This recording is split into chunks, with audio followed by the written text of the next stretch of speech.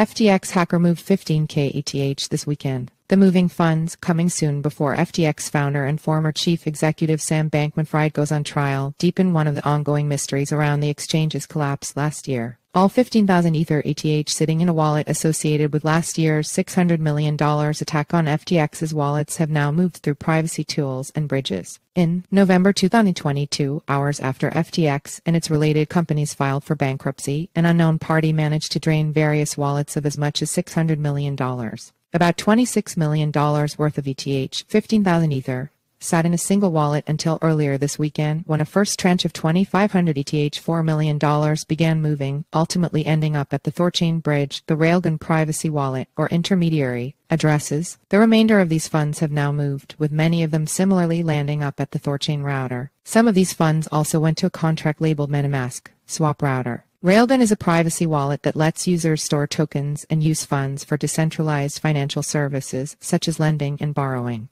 These transactions are shielded, meaning the exact use of such funds is not known. On the other hand, Thorchain is a bridge that lets users freely swap tokens between different blockchains without the fear of getting their transfers blocked. As such, addresses associated with the exploit may have moved over $32 million worth of Ether using Thorchain, as per estimates. The moving funds coming soon before FTX founder and former chief executive Sam Bankman-Fried goes on trial, deepens one of the ongoing mysteries around the exchange's collapse last year. The identity of the party or parties behind the attack was never identified. After the exploit, several addresses amassed various tokens, such as ETH and the DAI DAI stablecoin, and swapped it all into 37,000 Ether. The address held more than 288,000 Ether at peak and was once the 35th largest owner of the cryptocurrency, as previously reported. Bankman-Fried was charged with two counts of wire fraud and five counts of conspiracy to commit various forms of fraud by federal prosecutors last year, weeks after stepping down from his role at FTX. He resigned the same day FTX filed for bankruptcy.